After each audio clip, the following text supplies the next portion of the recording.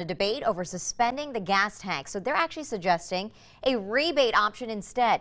West Virginia Senate and House Democratic leadership want to see a $100 rebate check sent to each registered driver in the state. We want to know what you think about this because in all, this would cost $57 million. Now, this new idea comes following concerns that suspending the gas tax for a short period of time could impact funding that's needed to repair and build roads.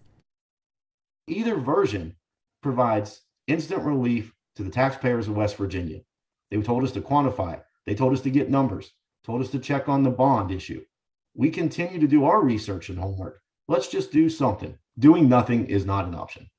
All right, so following that, Democrats say that they're open to any other suggestions, hoping to find a, re a resolution soon.